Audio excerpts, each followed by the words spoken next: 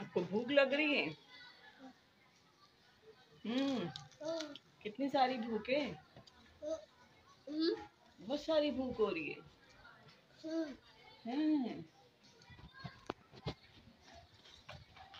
मुझे बहुत पसंद है। बहुत पसंद है आपको? बर्गर पसंद है? वाह भाई वाह। तो हमें भी पसंद है बर्गर तो।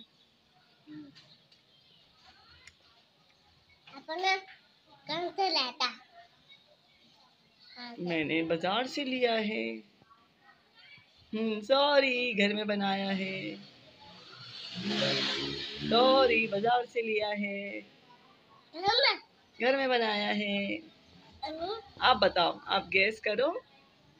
मज़े का है टेस्टी बर्गर है। हम्म yummy yummy burger yummy burger yummy burger